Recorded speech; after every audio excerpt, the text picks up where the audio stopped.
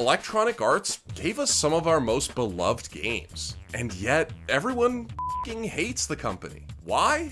Well, They've released the same game over and over again. It's the same game, and they do this in multiple franchises. Yeah. Loot boxes and microtransactions. Thanks, EA. Where is this guy? How many tokens does his moments cost? Oh my fucking god. EA treated their employees so badly, the company got sued in 2004 and had to settle for millions of dollars. And a few years later, EA was voted the worst company in America twice. Twice! EA also has a habit of buying and then basically destroying other smaller video game studios. And last but definitely not least, this fucking garbage.